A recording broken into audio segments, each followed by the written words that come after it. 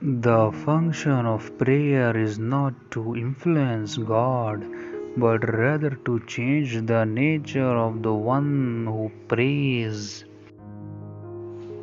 The great thing to remember is that though our feelings come and go, God's love for us does not.